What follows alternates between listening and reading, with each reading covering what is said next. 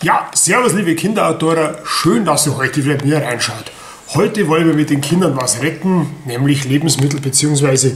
diese unglaublich leckeren, oh, verführerisch duftenden italienischen Aprikosen. Da wäre es wirklich schade drum und das muss ich euch gleich erzählen. Laut einer WWF-Studie, das ist eine Umweltschutzorganisation, wirft man in Deutschland jede Sekunde 313 Kilogramm genießbare Lebensmittel weg. Pro Sekunde werden in Deutschland 313 Kilogramm genießbare Lebensmittel weggeworfen. 40 Prozent davon von Privathaushalten, also von dir und mir sozusagen. Und das summiert sich im Jahr auf über 18 Millionen Tonnen Lebensmittel, die in unserem Land verschwendet werden. Nur zum Vergleich. 18 Millionen Tonnen Lebensmittel, die in Deutschland weggeworfen werden jedes Jahr. Und ein US-Flugzeugträger, der wiegt 103.000 Tonnen. 103.000 Tonnen wiegt so ein Flugzeugträger und 18 Millionen Tonnen Lebensmittel werfen wir, je, werfen wir jedes Jahr weg. Also stellt mal das in Relation mit einem Flugzeugträger, das vom Gewicht her wären, das wäre eine ganze Armada. Und deswegen höchste Zeit, dass wir mit den Kindern Lebensmittel vor Mülleimer retten. Hat auch was mit Treibhausgasen zu tun. Also ich habe gelesen in dieser Studie, dass 48 Millionen Tonnen Treibhausgase werden umsonst rausgepustet, weil wir in unserem Land so viel Lebensmittel wegschmeißen. Und das ist jetzt ein gutes Beispiel mit den Aprikosen. Ich habe da einen Obsthändler meines Vertrauens, einen italienischen, auf dem Markt und er war völlig verzweifelt, weil die, die sind schon überreif. Also zwei, drei Tage, dann werden die matschig, dann werden die faulig und dann isst es keine mehr. Und diese wirklich hervorragenden italienischen Aprikosen landen dann im Müll. Und das ist einfach schade drum. Also retten wir diese tollen Aprikosen und machen Aprikosenmarmelade draus. Für die Kinder ist es eine tolle Sache, die haben Zeit zum Schnippeln. Man, da Corona-Lockdown sitzen momentan alle zu Hause, weil ja viele Kitas und Schulen noch zu haben. Und dann könnt ihr euch Marmelade selber erstellen und ihr wisst auch, was drin ist, nämlich nur Gelierzucker, und diese tollen Aprikosen.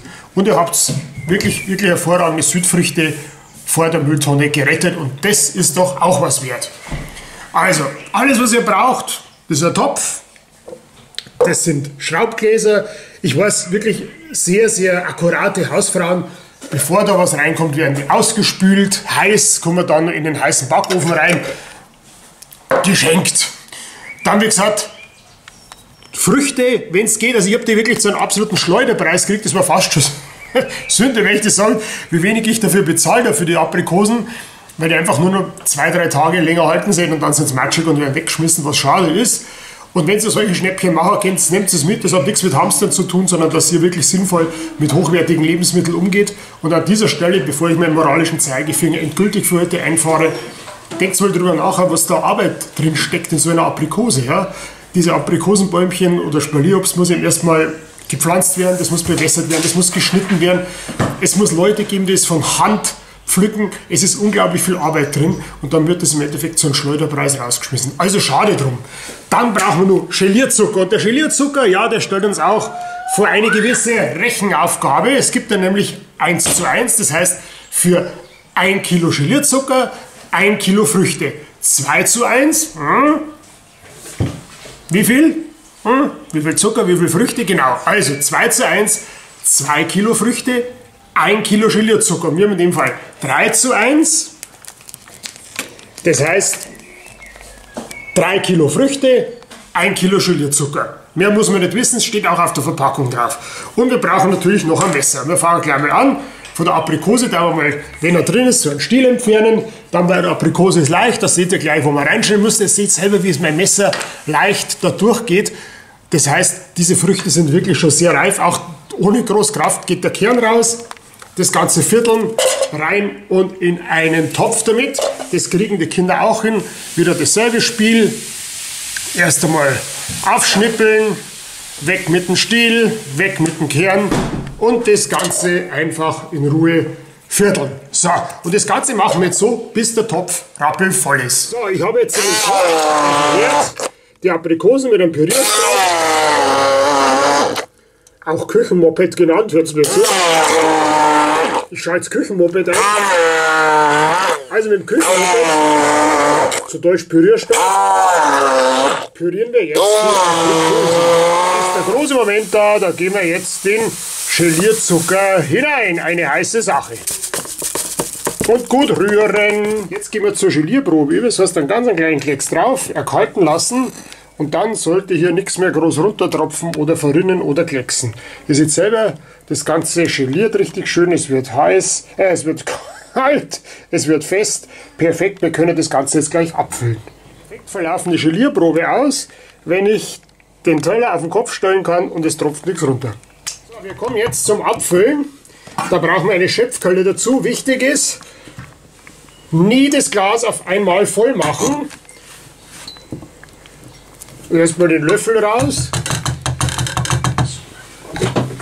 So, und los geht's. Nie auf einmal voll machen. Ungefähr zur Hälfte abkühlen lassen. Dann holen wir uns das nächste Glas. Abkühlen lassen. So, und jetzt nehmen wir das erste. Macht es immer drüber, dann, hat, dann verliert es nicht so viel von der Marmelade. Voll machen und Deckel drauf. Und bitte nicht mit kaltem Wasser abschrecken. Sonst hat das Ganze die Wirkung von einer Handgranate und splittert, dass alles zu spät ist. Das müssen wir nicht machen. So, und fertig. Kurz am Kopf stellen und dann haben wir es. Also nicht euch, sondern das Glas. Und es ist heiß.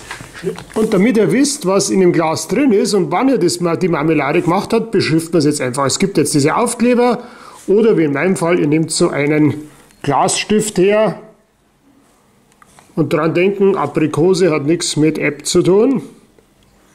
So, und schon wissen wir, wann wir dieses lecker, diese leckere Marmelade hergestellt haben. Ja, liebe Kinderautoren, meine Aprikosen sind verschwunden. Ich habe keine Aprikosen mehr. Ei, da sind meine Aprikosen wieder. Okay, lassen wir das mit dem Gesang. Also ihr seht selber, wir haben jetzt attraktive, tolle Schraubgläser. Thema Schraubgläser nichts mit Plastik dabei. Das heißt, das Mikroplastik, das wir auch wieder gerne über unseren Körper aufnehmen, dank unserer Lebensmittelindustrie empfehle ich und ihr wisst wirklich, was drin ist. Gelierzucker und 100% Früchte. Punkt. Könnt ihr toll verschenken, könnt ihr schön selber aufbrauchen, könnt ihr in Urlaub mitnehmen oder auf, auf Outdoor-Abenteuer und habt ihr immer leckere, selbstgemachte Marmelade und was noch wichtiger ist, ihr habt Lebensmittel gerettet. Was will der Mensch eigentlich mehr? Weitere tolle Rezepte für euch und die Kinder. Bastelideen, was ihr draußen machen könnt, Schnitzeljagden, Bergtouren, wenn wir wieder raus dürfen, Berghütten, wo ihr mit den Kindern übernachten könnt, Kanutouren auch in Städten und so weiter und so fort, findet ihr auf kinderoutdoor.de 24 Stunden am Tag. Und ihr dürft uns gerne liken, ihr dürft ja gerne unseren YouTube-Kanal abonnieren, da freuen wir uns drüber. Und ihr seht jeden Tag einen neuen tollen Film für uns, was ihr mit den Kindern draußen oder drinnen unternehmen könnt. In dem Sinn, macht es gut, passt auf euch auf, pfiat euch, Servus, euer Uli.